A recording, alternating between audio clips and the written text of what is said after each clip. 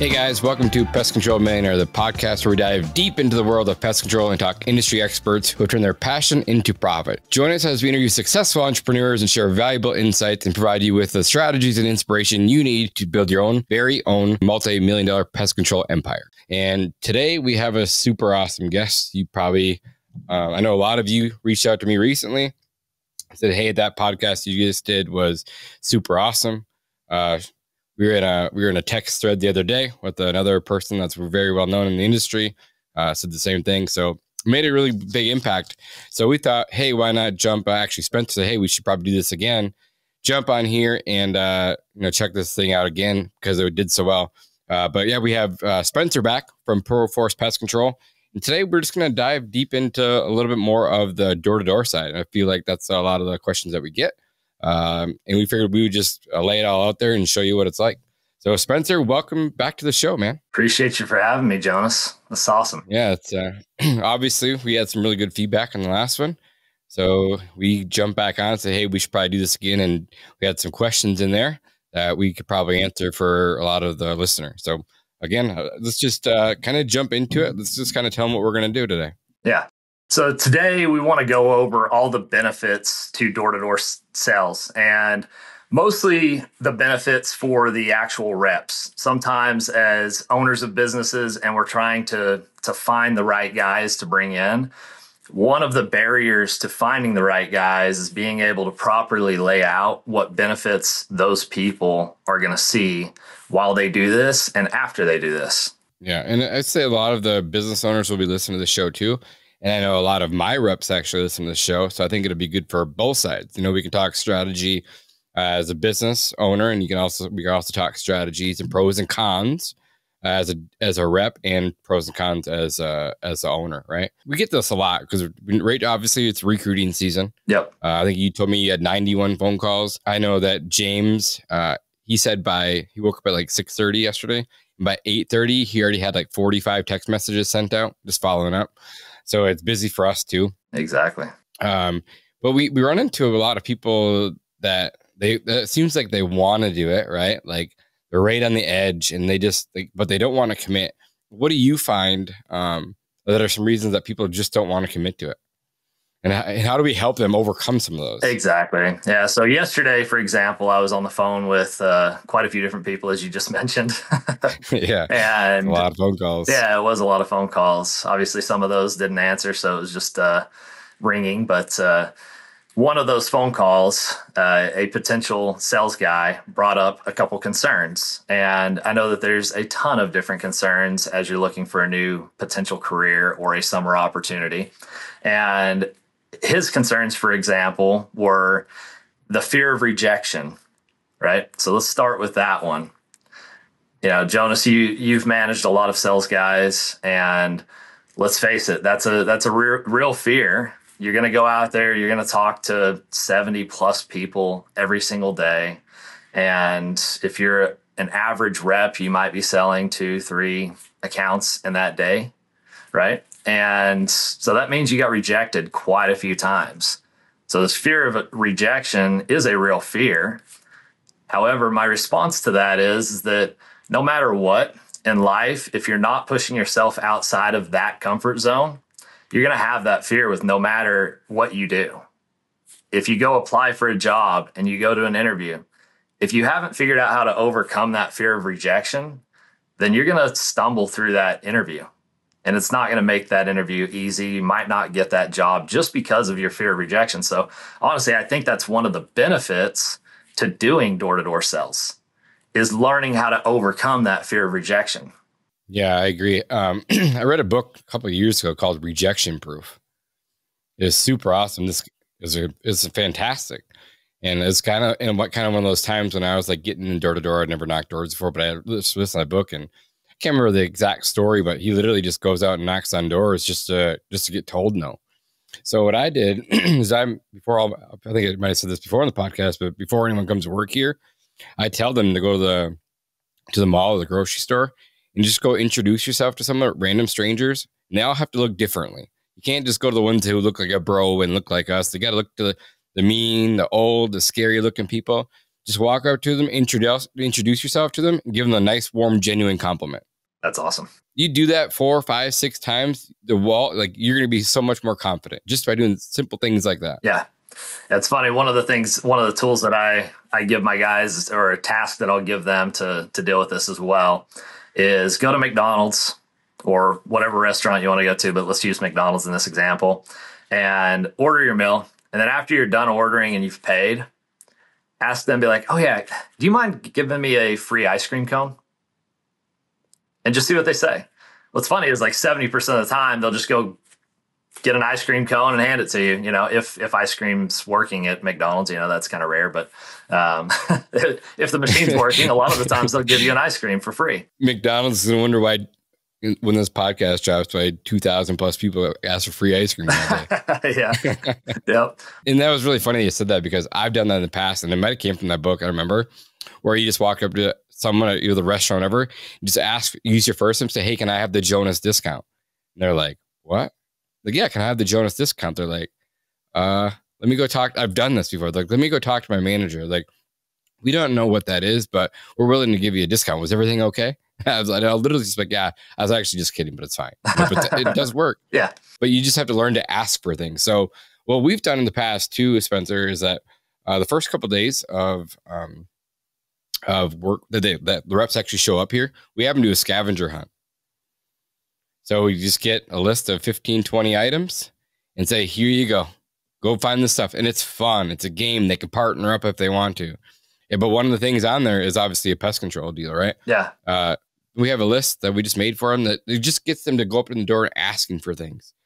So it's a really good game that that we used when they come in. They get excited. They have a lot of fun with it. Uh, they want to win, of course, because they're competitive, um, and that it works every single time.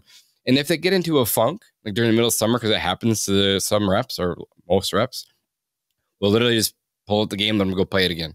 So another strategy that you use for that as well. That's that's awesome. Yeah, yeah. I think the only thing similar to that that I've done is I'll I'll have them ask for like a banana or a fruit at, at the door, and whoever can get the most pictures of fruit that they've been given wins. You know. Yeah. Yeah. Yeah, for sure. And it's like running little competitions like that throughout the summer uh, for the business owners that are out there. You know, bottles of water. We'll have competitions who can get the most bottles of water and post it into our pronto. Just again, just to used to asking for things, having a little fun with the guys, keeping them engaged. So yeah, I agree there. Um, so what's another what's another reason why people don't want to do this? Uh, a big one that we get pushed back on, I would say, is uh, pay. Right, like they're not guaranteed pay. Or most guys come out, they're making, you know, let's just go with fourteen to eighteen bucks an hour. They're gonna make, you know, five to fifteen thousand dollars in a summer, maybe, right? Uh, but there, but it's not. But here, it's not guaranteed. And I'm sure you get pushback on that too, right? Oh yeah, for sure, absolutely. Um, and how do you help them overcome that part of it?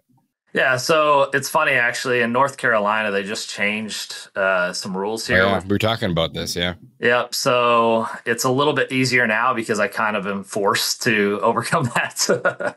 you know, we we have to W two our our sales guys during the summer now, and with that being said, they're with the amount of hours that they put in, they're pretty well guaranteed, even at the lowest minimum wage possible. You know, like five hundred dollars a week. And the the thing is, though, that's not the biggest upset for me because now that they're W two, we can hold them to actually working a certain amount of hours, and we can track that based on the doors they knock and everything like that. And the thing is, is you know, you've you've seen this, I'm sure anybody that goes out there and actually puts in the the amount of time and the qualified work they they put in the inputs they're gonna make sales. And you know to to hit that minimum wage mark you know $500 a week or whatever um, it's not that many sales right? Like five sales a week right? On industry, industry average. Yeah exactly. And so the the thing is is okay that's less than one a day if you're talking to 60 70 people a day and pitching them and doing your, your the best job that you possibly can even if you're not good you're probably going to sell five accounts a week yeah i agree and i always tell people that our, our you know the industry averages you know two to three per day uh, as a rookie you have to not try to, to get one sale a day. You literally have to not try. Like we had a guy last year. This is not a joke, or maybe it's two summers ago.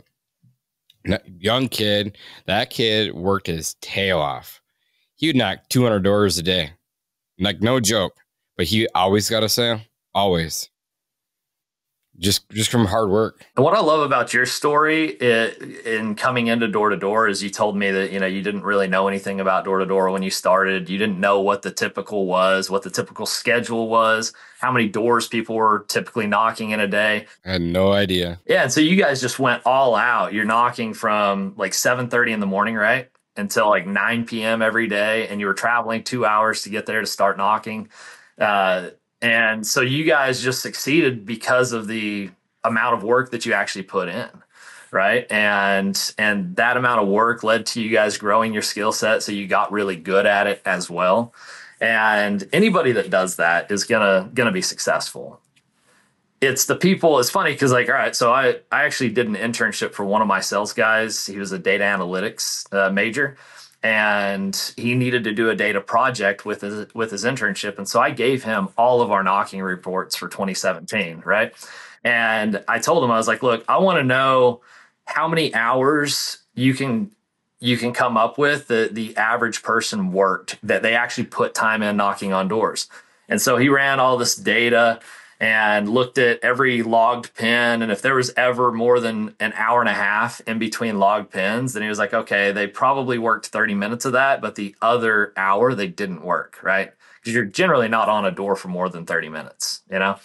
And what's sad is we realized that nobody worked more than six hours on average a day. And that's because we had that preconceived notion of that here's what the schedule is. And naturally people just try to whittle away at that, you know, which is the wrong direction. Like that's not the mentality you want on your team.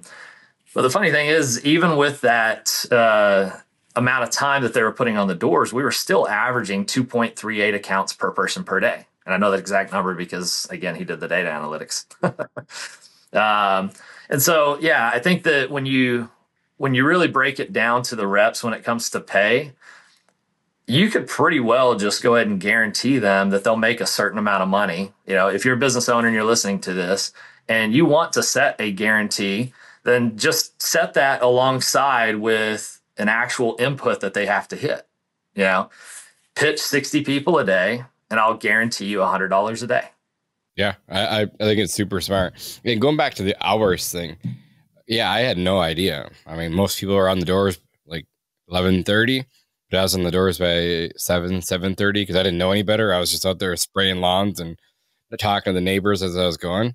And I said, I remember it was like seven, seven or seven forty-five. I got my first sale, and like by nine thirty, I already had four deals in. I was like, dang. But again, I didn't know. Like, so now the new schedule, like for most reps, is on the doors by 11, 11.30.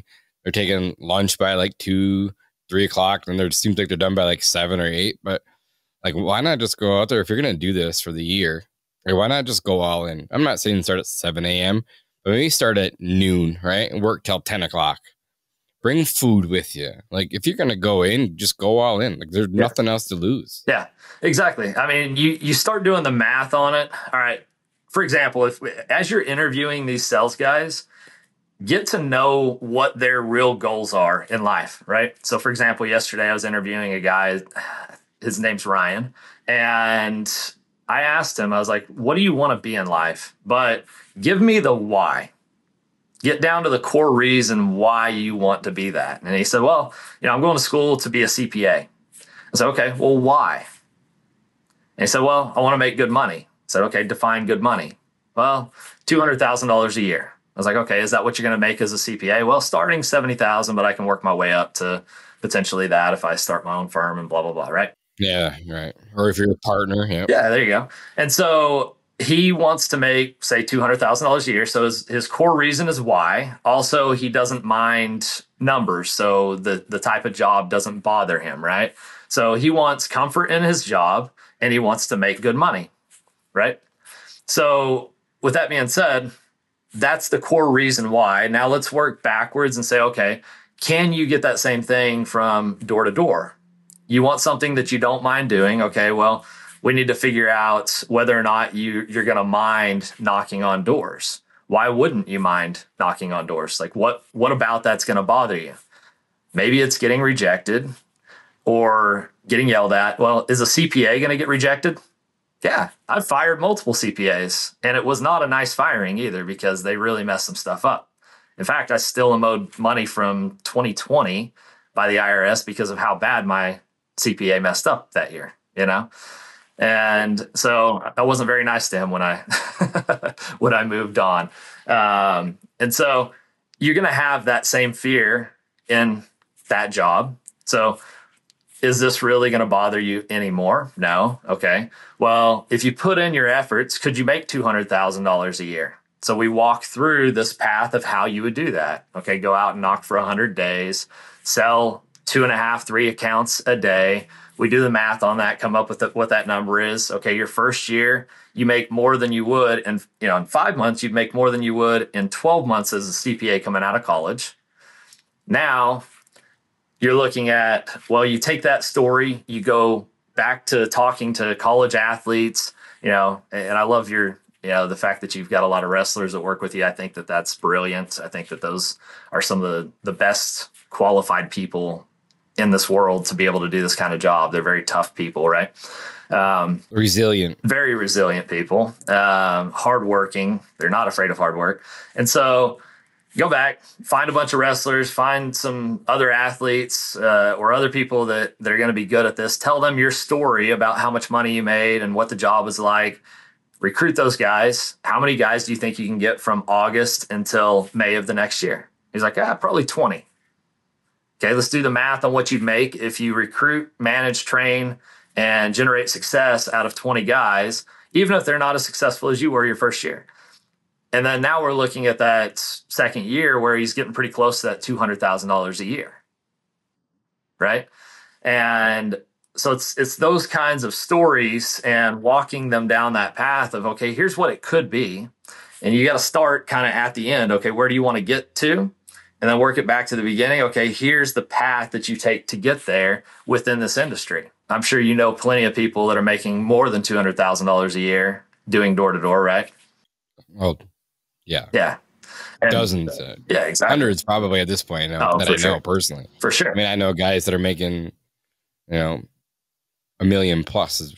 It's wild. Exactly. Exactly. So, so really the sky's the limits. And so let's kind of start diving into a lot of those different benefits that we can kind of give business owners to talk about and as well the sales reps that are out there, benefits that they might not even realize that they're getting so that they can start taking note of that and really exploit the advantages of these benefits that they have, right?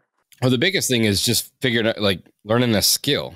What sales is is a great skill. Get really good at one skill, and you'll have a job forever. Whether it's in the pest control industry or whatever industry you want that you want in life, they're always looking for the best sales guys.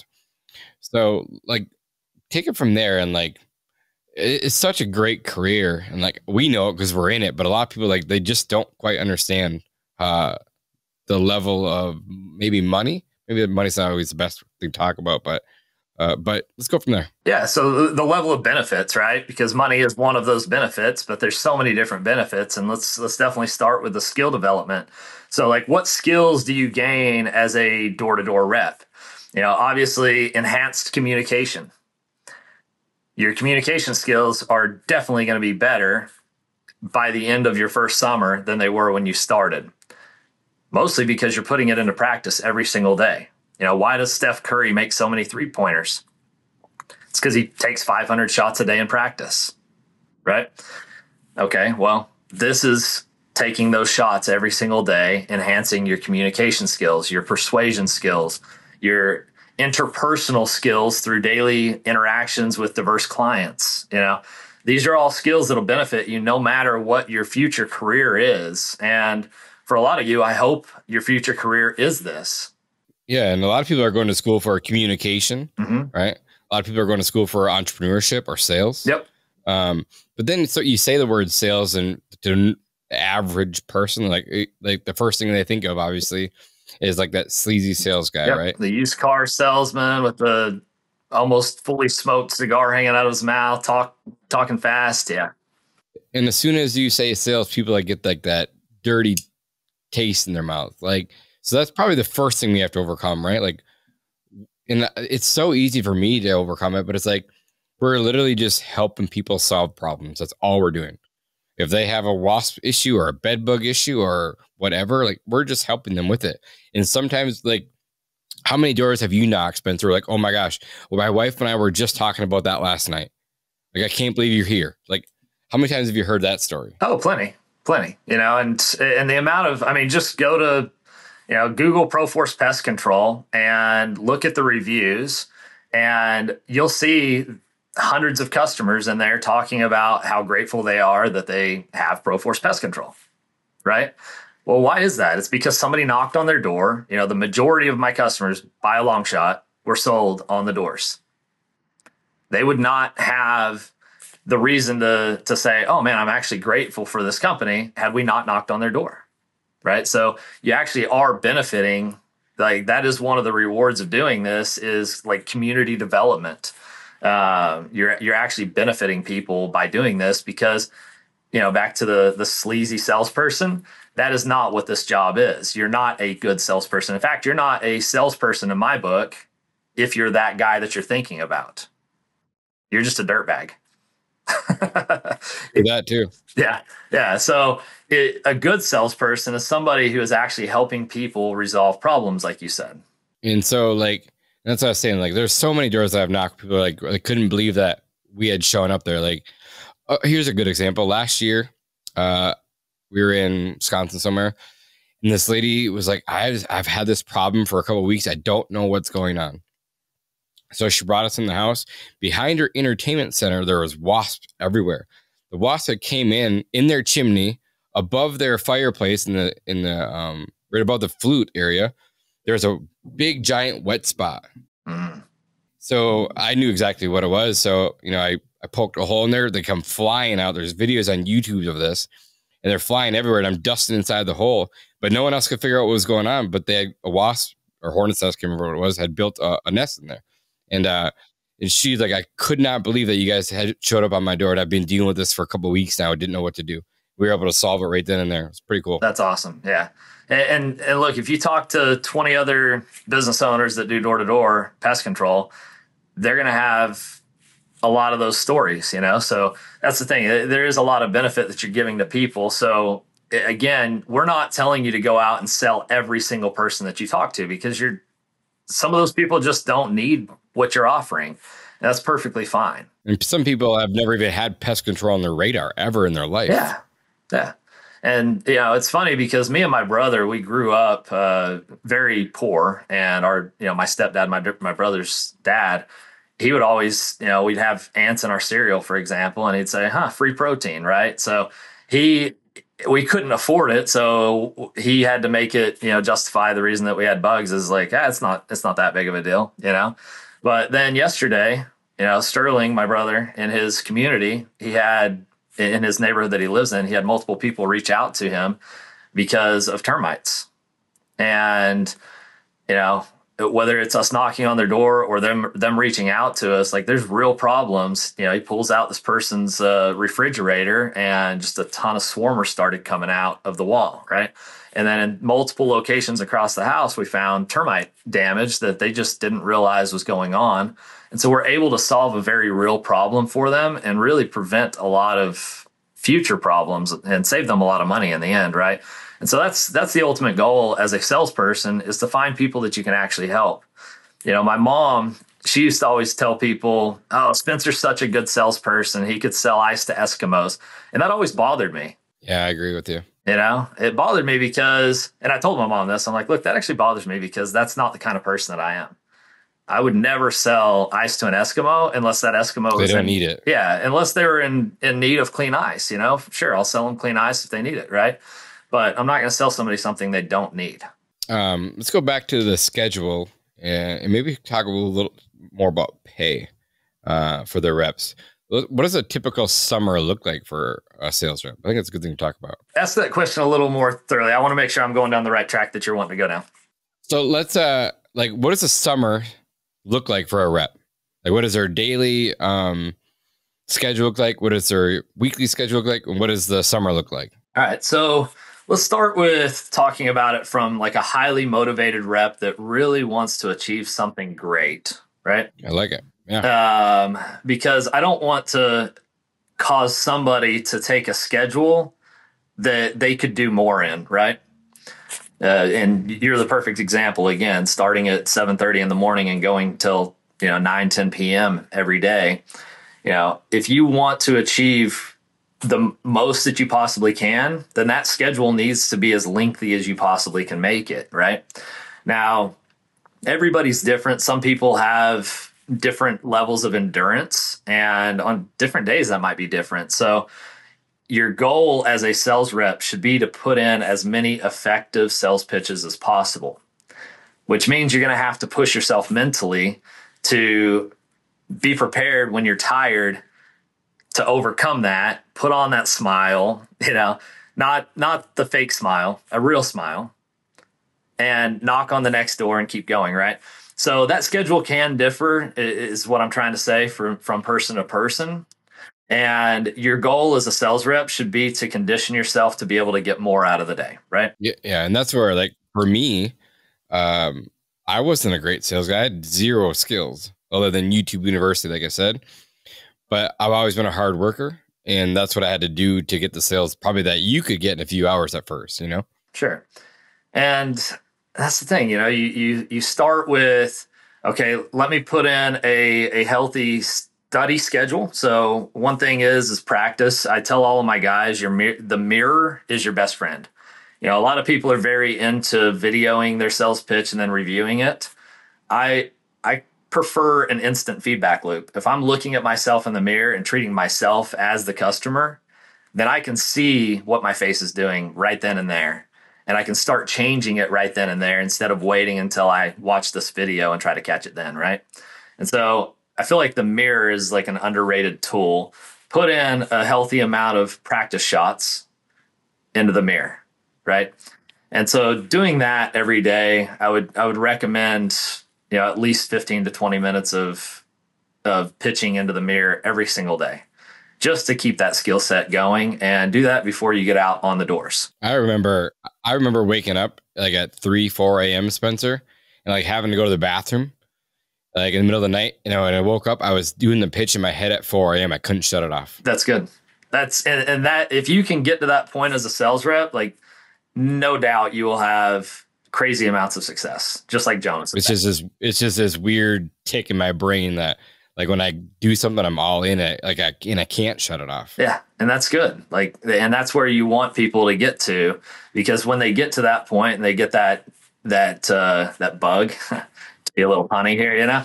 Um, when they get that bug and they start doing that and they start dreaming their pitch you know that's that's really when you know you've crossed that level and you're going to really start seeing some some amazing success stories so that schedule though I, again i don't necessarily want to recommend hey start at you know 10 o'clock in the morning and go till 9 p.m i want to recommend do everything that you can possibly do and just try to set a, a goal for yourself before you even start hey i want to accomplish this thing i want to make a hundred thousand dollars Okay, well, then work your way backwards and try to figure out what's it going to take to to make a hundred thousand dollars. You know, how many accounts is that? And then, okay, start working. Get yourself a couple weeks in. How many accounts are you selling per day with the amount of hours that you're doing? Okay, do you need to in- increase the amount of hours that you're working? Increase them if so, right? Um, you start doing the math on a hundred day summer, and you take 30 minutes off per day, it ends up equaling about a week's worth of hours over the course of that 100 days. And Jonas, how many how many accounts have you sold on your best week? You know, or just name a, a different rep. You know, what are you seeing guys do in a week? I've seen in my own team someone do close to 100 there you go in a week 100 accounts in a week and let's just say it look commissions range all across the board when it comes to pest control, but let's just say they only made a hundred dollars per account, which is, you know, low, you know, that's a lot of money that they made in that week. So how much is your 30 minutes a day worth to you? Is it worth that much? Try to maximize the amount of time. That's that's like one of the biggest pieces of advice that I can give to people is get out there and maximize your time for you, not not for your business owner that you're working for. Like this is for you. Yeah. Um, and then as far as like days of the week, like what do you recommend? Man, Saturdays are amazing. One because everybody's home most of the day, right? Um, you know, my my typical is Monday through Saturday. Look, a lot of people that I, I work with are, you know, pretty religious, and so they're just not going to work on a Sunday, and that's perfectly fine with me. Um, so, a, as many days out of that week as you can. We try to do like a half a day on one day just to kind of, you know, have a little bit of a break. And generally, we pick Monday for that.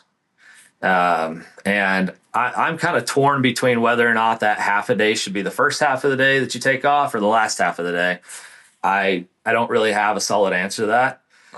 But on that day, I'd almost recommend just not even doing a training meeting that day and go have some fun. Yeah, exactly. And and maybe you start your day on the doors earlier. If you're going to do the first half of the day, okay, start knocking at you know seven thirty, eight, nine o'clock, somewhere in there and knock until three or four o'clock and then be done and then go have some fun for the rest of the day or the opposite you know take the first half of the day off and maybe start at noon or one o'clock and then knock until nine you know? Yeah we um we had a couple uh guys well we've tried multiple times from florida to arizona to wisconsin. We've knocked all over the place and we've we've tried to sell on sundays and every time we try to sell on a sunday we got our ass kicked like, and that was just like everyone. They would just be like, you know, literally, I would I'd talk to you guys. I'd like to, I'd buy from you guys, but just not on a Sunday. Uh, we've had some success work, working like Sunday evenings, uh, going out for a couple hours at prime time, getting one or two. But so we we just we kind of shut down the whole Sunday morning for sure. Uh, Saturday, absolutely doubles day, right? Go out there, be out the doors early. Uh, I don't want to give a time, but let's just say nine o'clock. Work from nine to one you know, most people leave their house, it seems like in the afternoon because they're busy doing other things. But go out there and get one, two sales, right? Like just make your Saturday worth something. But it's a doubles day where everyone's home. Every door you knock, they're going to answer the door typically. So uh, use that. Um, I brought up some data. you were talking about uh, you, you had done some data for you guys, some analytics, and we took our information for the last three years since we've knocked, and we've broken down how much money you make per door knocked. There you go. So as a, as a rookie, uh, you make six dollars and thirty four cents for every door that you knocked. And how many doors a day are they knocking? That's what I'm saying. So how many how many doors would you knock? Right, you'll make six dollars per door. Right. Uh, as a second year rep, it was seventeen fifty per door, and then as a third year rep, it was twenty two dollars and sixty five cents per door. That's awesome. That's great data. I love that. So, and we use that data to say these are real numbers from our actual guys from our company that have done this for the last three years. So, if you go out and work hard, these are what you'll get. You go knock 100 doors as a, as a rookie, you're going to make about 600 bucks, you know? So, it's, it's pretty simple. The math is there. Exactly. So, like, I don't, we're not, it's not like we're like beating around the bush here. Like, a, we can talk about pay uh, and just go with industry average. Like, um, typically it's about 20% of contract value, right? And yes, there's higher, there's lower, but let's just go with 20%. Like, so guys are making, you know, average contract value 600 bucks. They're making a roughly $160 per account. Yep. You know, that's just, that's just what you see in the market. And in pest control, lawn care, kind of the same thing, but uh, th- th- really, obviously, really good money. You go sell two a day, you made 300 bucks. You go sell four a day, you made 600 bucks in a day. It's, it's not that hard. Um, physically we can talk about that too like physically it's for like people who love to go to the gym and love to work out like love to be active and not sit behind a desk like you Spenser and myself like we get to it's basically like going to the gym. You're just walking from door to door like running you get your exercise in throughout the day. And, and if you want to jump on a segway you know? Yeah. i mean it's, it's a hot day get yourself a little bit of a breeze and and be on a segway and get from door to door that way if you want to it's funny. I kind of still prefer the walking. That's just what I grew up yeah, doing with door to door. And so I have a hard time using the segways. Now, if I go to a neighborhood where it's like, you know, a, de- a decent walk in between each house, yeah, segway's really, really nice. Um, But yeah, I I prefer being able to stand up the majority of the day. I don't love sitting behind a desk, and if I am behind a desk, a lot of times I'm standing anyways. And so yeah, this is a great physical job that's not taxing. Like you know, it's not like you're out there digging ditches in 90 degree weather. You know, that was my alternative job my first year when I went out to do sales was my dad offered me 12 grand to come out and dig ditches for him with his construction company. Could have been doing that. Instead, I chose to go knock doors. And I was a, a laborer hauling lumber up two flights of stairs in 90 degree weather too, like building houses. It, this is definitely not uh, taxing like that for sure. Uh, mentally, right? Mentally, it's more of a challenge.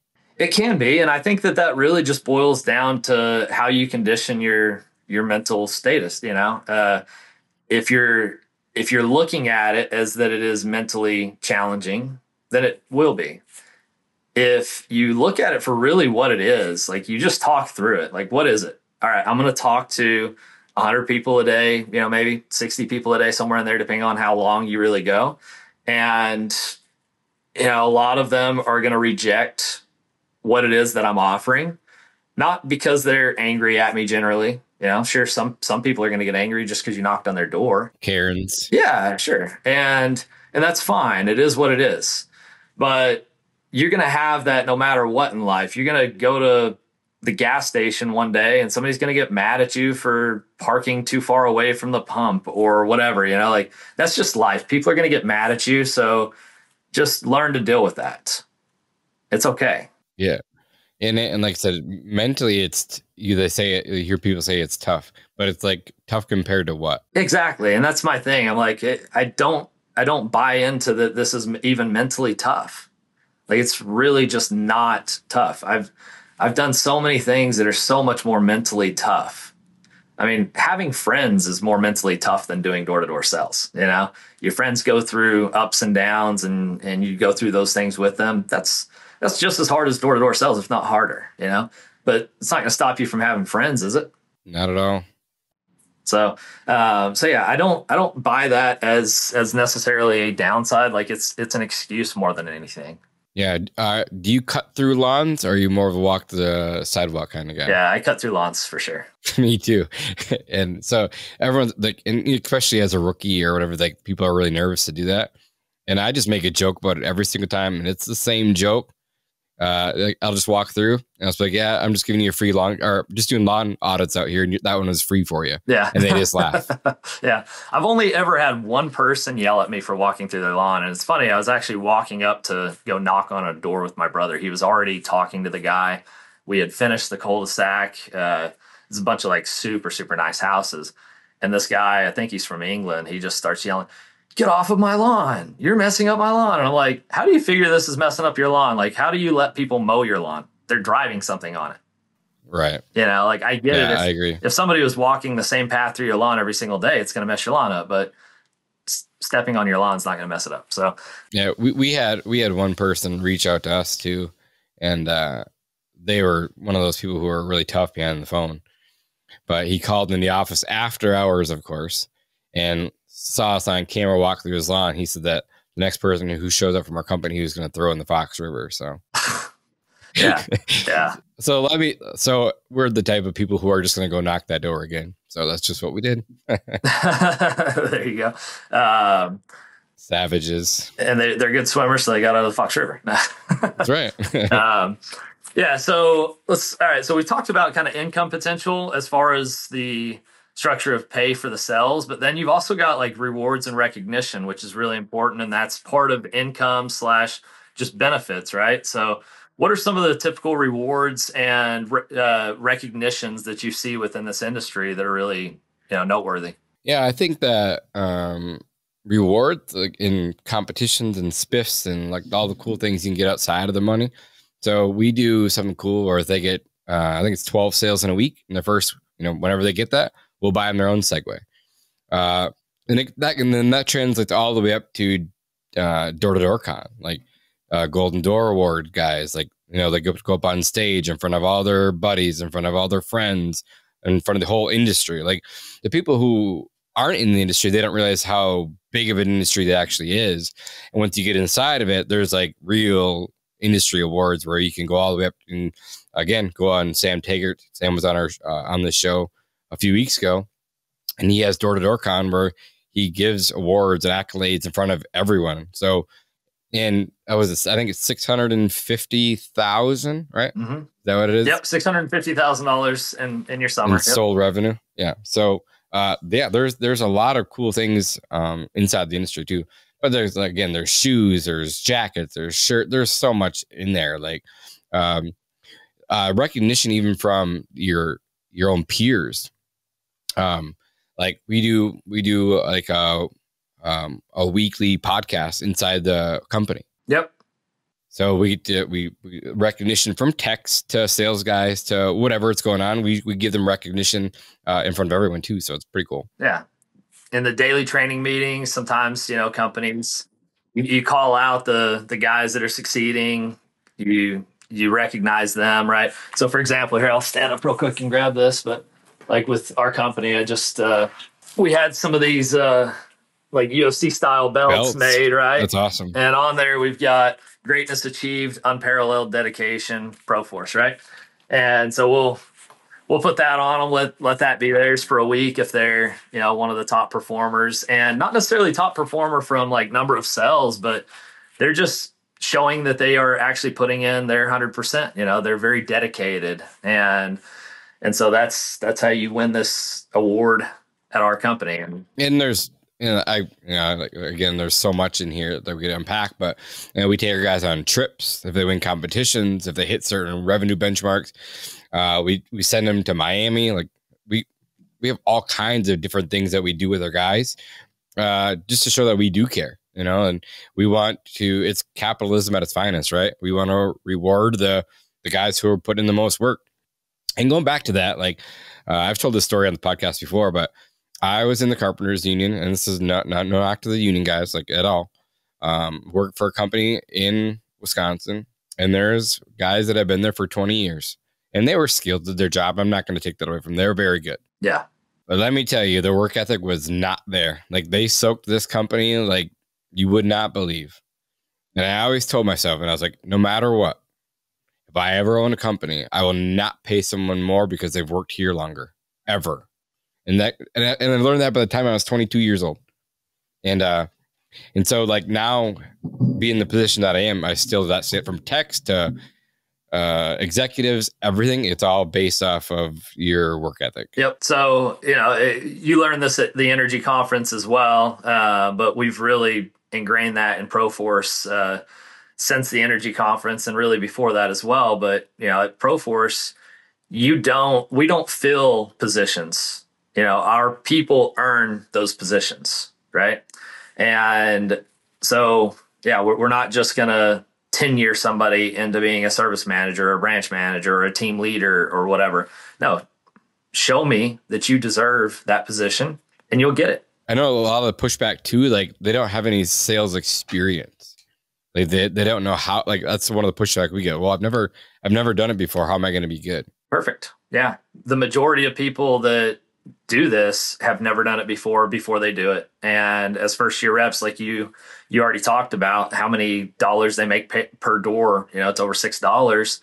Um, it doesn't matter if they've done it or not. That's that's why as a you know business owners that are listening to this, you really do need to to create an amazing training program. And if not, then lease it. You know, rent it from somebody that has it, and give that to your guys because you know we do want to create an industry full of true professionals that actually know what they're doing. You know, um, we don't want guys going out there saying, "Oh yeah, we spray the foundation three feet up and three feet out, and that's going to kill your above ground termites." You know, like, okay, are we selling a termite program here, or are we selling general pest control? Like, you know, we need to train them on what to say, how to say it, when to say it, and um, you know, the nonverbal communication. Again, that's one of the benefits of doing this job. So, as a business owner, make sure that is a benefit within your business is that they will gain the skills, right? You want them to feel like after the summer that they have just gone through a master's course in sales. And so when I'm recruiting guys, I let them know. It's one of the first things I let them know. I say, well, hey, when you're done with this, you'll feel like you got a master's degree in sales. I agree. I love that. Um, as a manager, um, let's just say you're managing 20 reps. Uh, like so, so that's like a second year guy, right? Um, how do you? What's your style of management, and what do you like to see your managers do? Yeah. So with managers, the main thing is, is leading from the front. So I want to see them. I, I, have that written down on my paper. Good. Yep. So I want to see them lead from the front. Their their biggest job as a manager is to motivate people by showing them what's possible. Right. So could not agree more. Yeah. Um, it's it's not about how crazy good their their training meetings are in the morning. Their training meetings will be better if they are a better salesperson themselves. Like they'll just know what to talk about, right? They'll know what their guys are struggling with because they've gone out and they've experienced it thousands of times, right? And so that's what I expect from my managers is to go out there and gain the experience by doing it thousands of times, being trained on it first and foremost, then experiencing it. And then they will be good managers just by leading from the front. So I don't want them to spend their whole day on the phone with the sales reps answering questions. But that's what happens, right? Sometimes, yeah, absolutely. So, so what do you put in place to make sure that that doesn't happen? Well, all right. So any service related question never goes to your sales manager. And that's the majority of the questions that these guys are asking, anyways. So I have somebody else within my office that is going to be taking all of those phone calls. And then, as far as reps um, in sales questions, when do you think those should happen? Yeah, so those should happen. Um, they can they can be texted. Um, so they're they're not going to be calls. And again, if it's a sales question like, hey, this customer's curious about this service related item and what it would cost, like German roaches, for example. Okay, that again goes to like a branch manager, service manager, something like that, uh, or your office manager. And that's not going to go to your sales team leader that is on a door right now trying to make a sell to show you how many sales are possible during the day, right? So really, other than a text message to a to the to the whole group, to the whole team, to let whoever on the team answer it, it doesn't have to be the manager. Um, but yeah, it goes to a, a sales question board, so to speak, and then it's going to get answered by somebody.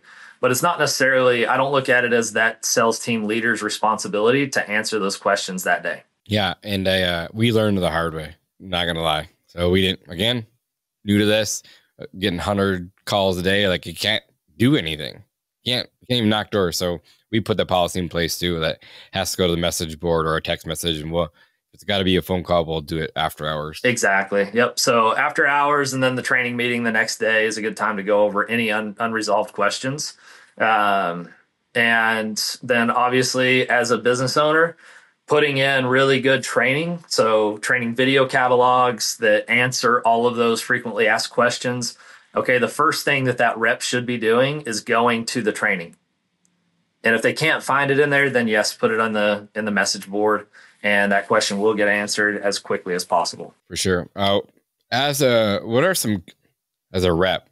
Um, not everything's uh, sunshine and rainbows, right? Uh, so maybe let's just talk them through like what the cons are to it as well. Yeah.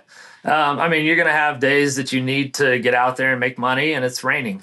Yeah, that's funny that you say that because some of our best days are when it's raining, for real. But it's just how you look at it. For, so year one is a, this is a true story. Like you, I could take a stick and make a huge circle. As soon as a raindrop hit, my guys were done in that circle. They're like, shut it off. Year two, they figured it out though, and they started not like pouring rain. They're out there with ponchos on, but guess what? Everyone lets you do. They let you come in the house. And so they almost like feel bad for you. Yeah, I had a guy named JD that uh, worked with me, and uh, his nickname during the summer was Rain Man. And it's because that was the only days he sold really, really well on. yeah, so it, he looked at it, you know, again with rain, you got to look at it as okay, there's a big benefit to this. One, people are going to let me in the house. Two, it's a talking point as far as what's making the bugs move around, right? It, it, can bring up that concern of, hey, this rain is flushing bugs out of their nesting sites and it's got them moving. So, you know, you know, most people can relate with after a really hard rain, they generally see more bug activity. Absolutely. Uh, what are some other cons besides rain? I mean, obviously, it can get pretty hot sometimes depending on where you're at. Those late August summers, Yeah, they're those- pretty brutal. Those summer days that are 100 degrees plus, you know, that that can be a con. Again, that's the same con though that you find in a lot of outdoor jobs. Yeah, for sure. Like people are still building houses in 100 degree weather. Yeah, exactly. And roofing houses, that'd be horrible, right? But they're doing it. Guys putting asphalt down. That's horrible in 100 degree weather. Um, so, yeah, it, again, it's a con, but is it a con that doesn't exist other places? Sure, it's not going to exist within the within an office job. Um, I, I find it, uh, this is another funny story. I remember the first time we were sold in Florida, you have a bunch of uh, guys coming from 30 degree weather, literally, we were up here, went down to Florida, and we worked in like, I think it was like January, of- and it was in Florida, but it was like 110 degrees. One of my reps, I remember it's like the second day, and he was laying on the side of the sidewalk, just dead ass tired. It was so funny. It was hot. We're not used to that, but again, with a little bit of time, your body just naturally gets used to it. So That's true. And, and one of the benefit, but that kind of goes back to the benefit of this job. Like, you know, you you have flexibility of schedule. If if you are, you know, really overheating, okay, take a break. Go get a, go get some water. Go cool down for a minute. Um, you know, I wouldn't recommend like fully cooling down because that shift in body temperature is really not great for you. You know, uh, but you know, go go get some water. Uh, it's it's also a good reason for people to let you in the house. Well, it's really hot out here. Here, come in. Let's talk. You know, um, so again, it's all about how you manage that throughout the day as to how big of a con that's going to be. But okay, that's a that's a con. Um, you know, uh, another thing is your parents are probably going to look at you like you're crazy when you tell them you're going to go knock doors and sell pest control for a summer. That's a con. yeah, we get that's one that's another huge one that we run into, but easy to overcome. We we will literally jump on a meeting with them too. Exactly. Yeah. And that's that's exactly what I tell the guys that I'm talking to about sales. I'm like, look, hey, if you're talking to your parents about this, they're possibly going to have a problem with it. And I'm happy to jump on the phone with them. I'm happy to take them out to lunch, whatever. You know, my dad had a problem with me doing it. He tried to get me not to do sales. And then I went out and I did it and I made a bunch of money. And he was like, hey, can you get your sister to do this next year? So uh, one of my best reps, he said he had just graduated college, and his dad said, "My my son is not a door knocker." So he exactly he told him. And now, fast forward a few years later, he absolutely loves his dad loves it. Yeah, you realize he has money, helped his dad buy a boat. It's pretty amazing. Yeah. It's funny because I've actually seen kids inspire their dads to actually start knocking doors. Really, Yeah. that's incredible. Yeah.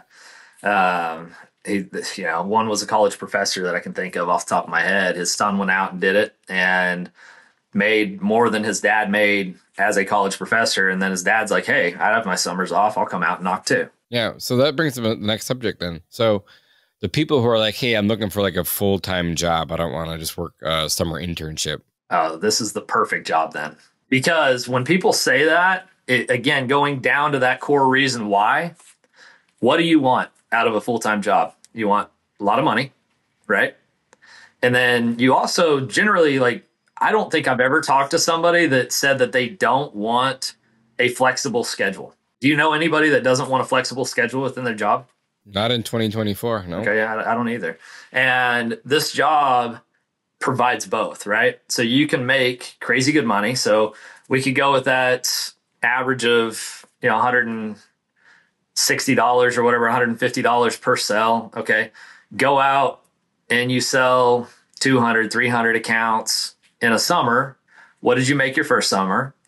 And if you go tell that story to 150 people that are looking for something to do, how many of them are going to come out and follow in your footsteps and let you manage them the next summer? And then you start looking at what you could make and overrides off, uh, off of recruiting and team leading and managing these guys. It's it's a quick path to being able to make in the good six figures range by your second year, right? A hundred, two hundred thousand dollars by your second year of doing this job. And at which point the the workload is all between like if you want to really extend it april through september like that's where your biggest workload is that's where your your time flexibility is not massive. You're really dedicating yourself during that time. The rest of the year, even if you're recruiting, like what is recruiting to you? You know, recruiting to me is making friends, right? I'm, I'm calling a bunch of people They're like minded people. That's the kind of people I'm trying to get in touch with, right? People who want to make the most out of their lives, um, gain as much as they can financially, gain tons of experience and to grow their network, right? Of highly successful and motivated people. Okay. We're better to do that than a bunch of door to door reps being around you. Um, so, you know, your, your off season, so to speak, or your recruiting season, you could be in the Bahamas recruiting. Go to Roatan, Honduras, take a scuba trip, you know, have an hour or two underwater that day and then the rest of the day you're on the phone talking to to potential reps. Like how bad of a lifestyle is that? Doesn't sound bad to me. I know it's not. It's a great lifestyle you know? So uh, yeah i think it's a big benefit. How about the business owners who are listening that don't do door to door thinking about doing door to door but they see more negative than the positive they see the bad reviews they see um, some bad apples that they just heard stories about. What do you say to those guys? So I'd say that those are all very possible outcomes if you don't properly manage the sales guys, right? And properly managing the sales guys is you you really again going back to this preconceived notion of what a salesperson is. If you're if you're hiring a bunch of guys that are okay with being, you know, sleazy, and pushing things that don't need to be pushed, you're going to get the bad reviews, right? Again, go look at ProForce Pest Control's reviews. You know, uh, go to Google, search us, and the majority of our customers, like 98% of our customers, were sold door to door. And we have very, very few bad reviews that are due to door to door, right? We have very few bad reviews due to the service. And so you know, first and foremost, when you're a business owner, your first priority is your product, right? Well, what is your product? All right. If it's pest control, it's giving the customer a great experience. And part of that sure is taking care of their bugs. Um, now you've got to define exactly what that experience is going to look like. And that is the limitations of what the sales rep is allowed to say, right? They can't say, again, oh yeah, you know what? We're going to go in your crawl space every single time and in your attic every single time if that's not your service protocol. If it is, great, let them say it. But you need to define what your service protocol and limitations are and make sure that your guys know how imperative it is to never say those things because it will negatively impact their quality of work, right? If they start getting a bunch of bad reviews on this company, it's going to make it harder for them to sell. So that the sales reps really need to be bought into boosting the the appearance of the company. And when you do that and you get guys that are buying into that, and that should be a pretty common topic, you know, talking about not generating bad reviews and how to not do that. You're just not going to get those bad reviews. So I'd say that that's not a problem as long as you're willing to step in and manage that. Yeah. How many times have you put it and put on social media or Nextdoor or Facebook groups and because th- this is what this I, I, think of like one of my best friends. Like he lives in a really nice uh, neighborhood in OKC, and he's like, "This is why we don't do it because this is every time that they're in here, they're posting, oh, these guys are back. Like door, people are knocking doors, and you know what I mean." That's fine. That's not a bad review to your company. Like it's not gonna, ex- you know, that's not existing on Google where people are searching for a company. Like the the bad review comment is more a business owner's concern that future people that want to search their business are to look at this business as not being a good business because they see a three star review company, right? Or a two star review company. And that just doesn't have to be the, the case. And one, anybody that's concerned about their reviews, they should be using a service like Applause or Birdeye or Podium or something like that to help generate positive reviews. And your positive reviews are generally going to come from your technicians anyways right? So so your your bigger concern is how good are your technicians? Yeah how good is the product right? That's what it all comes down to. Exactly. Yeah. Um because i i mean again you, you, as soon as you get put on facebook or Nextdoor in your area it seems like it shuts down Um, do you do you have your guys move then, or do you do you even can you feel it? I'm, I'm talking more. I, am talking more high level now, but because I know as soon as as soon as the area like you can almost feel like it goes ice cold, right? Or we'll just I just know what happened. I'll move my guys. Yeah, it depends on the guy. There's certain guys that I have that just have that mentality of, okay, look, all the people that are getting frustrated in here were the people that weren't going to buy from me anyways, right? The other people are the people I've been looking for this whole time anyway, so I'm just going to keep looking for them, right? Um, I mean, I've knocked plenty of neighborhoods where everybody's telling me, "Oh yeah, the you know," and it's generally when I'm knocking and there's like other companies in there with me, right? Absolutely. That's a, that's where I was headed with this conversation. That that generally happens. You know, you got some solar guys, you've got a bunch of other stuff going on, and that's going to generate these these negative comments on the on the feed. Well, again, there's actually people in that neighborhood generally that don't like a lot of their neighbors, and they'll just buy half the time, you know, just because they want to say, huh, you know, screw my neighbors, you know, whatever, whatever that reasoning is. But I, I, if it's me personally, I'm not moving out of that neighborhood. I'm trying to create as good of a, an experience because, um, like I said, a lot of the times that negative comment isn't because of me. It was because of a bunch of other people that were in the neighborhood. And I can go in there and present myself in a in a more professional manner than a lot of these other guys are. And so I stand out and it I actually end up selling pretty good in those situations. So yeah, for me personally, I don't move, but if if I've got a sales guy that just isn't on that level, yeah, I'll go ahead and move him. And sometimes I'll I'll jump in or I'll send one of my really good reps in there to go through it. And then that shows that guy, hey, you could have still sold here. It's exactly where I was headed with the conversation. Cool. I wrote down this from the very beginning, imposter syndrome. I've had in the past myself. So and you brought it up. So let's, let's chat about that because it happens to a lot of reps. Oh yeah, it, if you're if you're not pushing yourself extremely hard, you'll you'll never have it, right? Um, but I want to feel imposter syndrome every single year. That's when I know that I'm doing what I should be doing. Yeah, you have that. You have that. You have the two guys on your shoulder, right? One saying you can do it, the other one saying you can't. It's like, which one do you like to lean into? And that's the way I always teach my guys lean into that. Oh, for sure. For sure. Well, even everything that we do in life.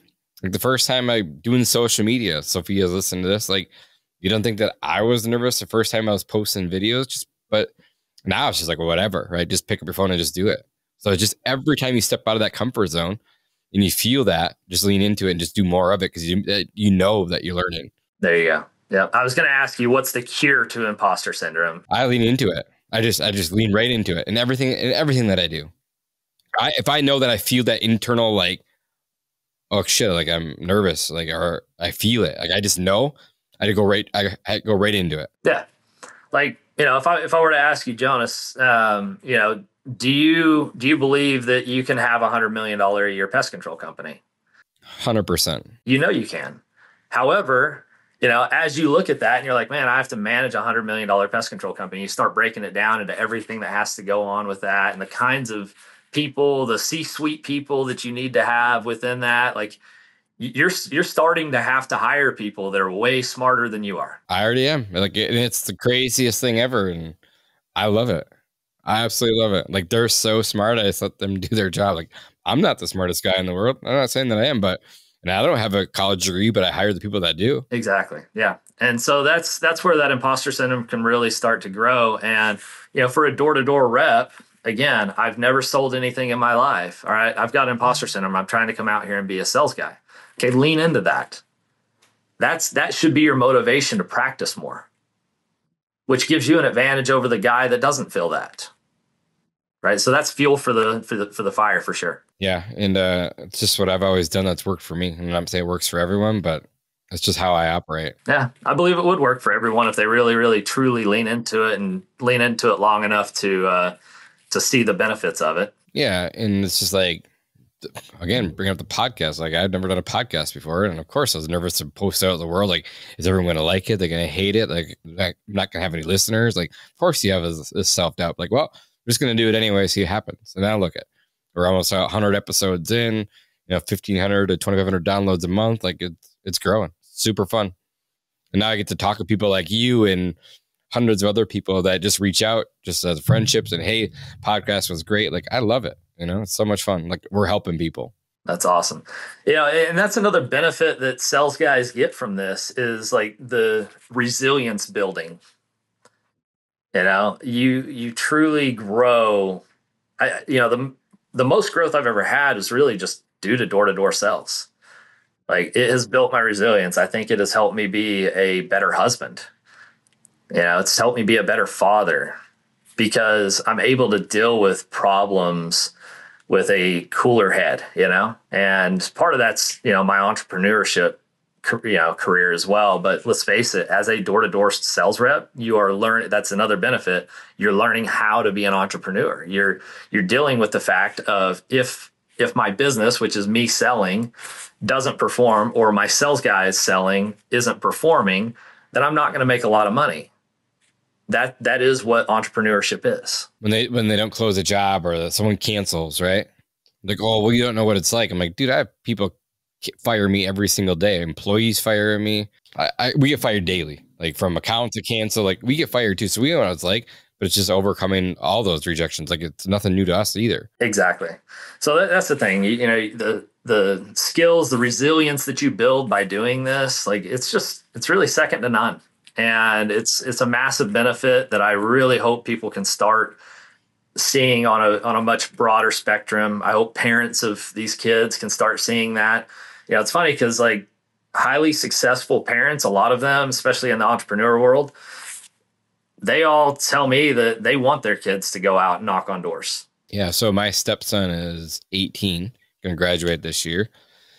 He had to sell uh, like these baseball cards in the summer. And he's like, oh, here, mom, join us go sell these things. I'm, nah, not how it's going to happen. So, so this is what we're going to do. Grab them. Let's go out in the doors.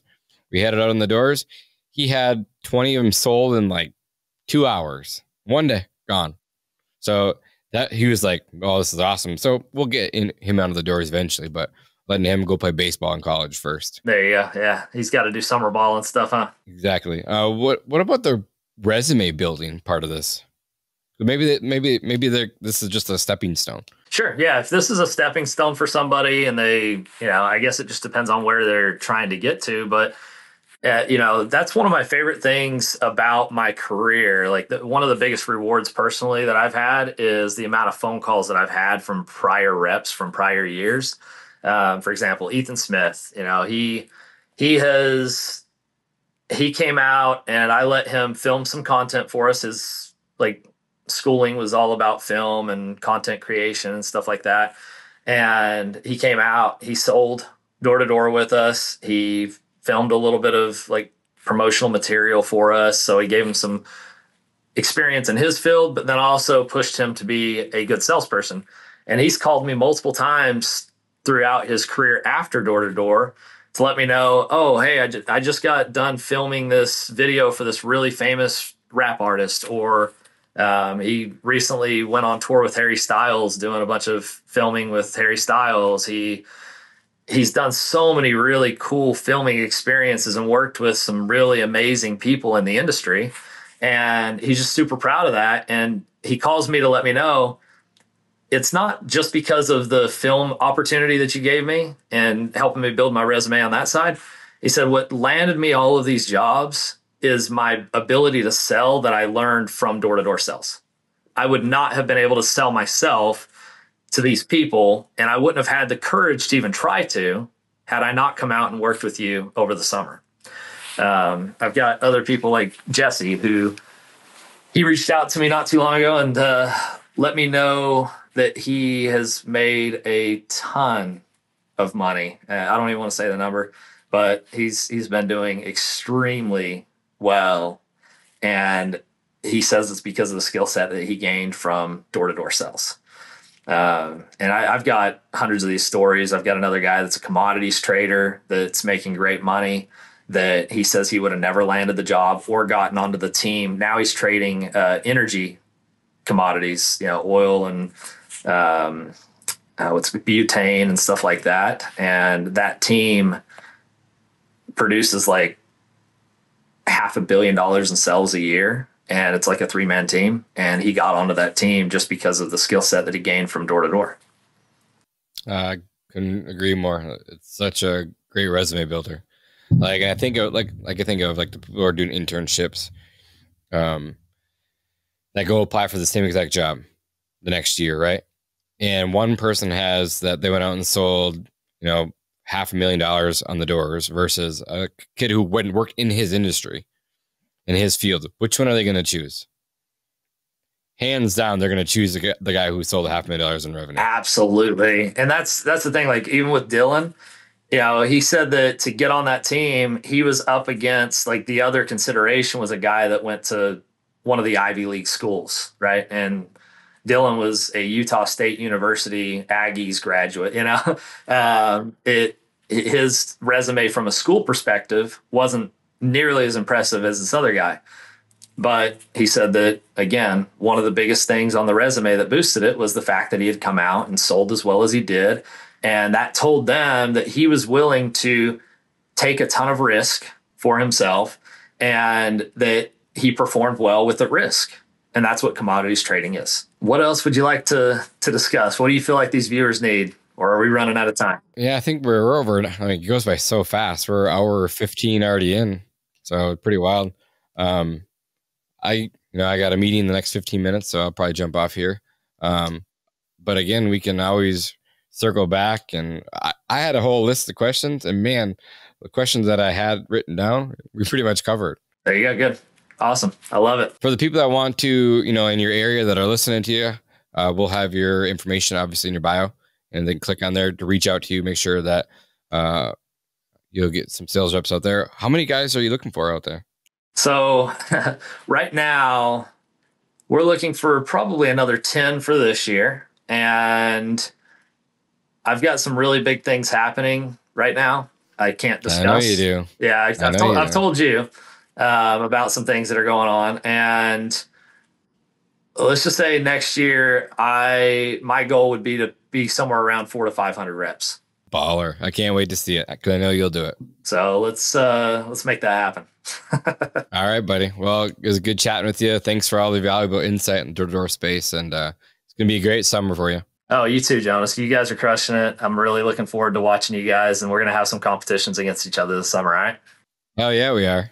Sounds good, man. All right, see ya. See ya. Bye. Hey guys, thanks for listening to another episode of Pest Control Millionaire. We don't charge any money for the show, obviously, but the podcast isn't free. You can pay for the podcast by sharing it with your friends and your family. So please like and subscribe and give us a five star review on your favorite podcast app. These things make a huge difference for us. If you have any specific questions you want answered about the business or your life by me or my guests, send an email to info at pestcontrolmillionaire.com. And if you want to get in touch with me about any personal business coaching, check out our website at www.pestcontrolmillionaire.com. Thanks again for listening, and I'll see you guys again on the next one.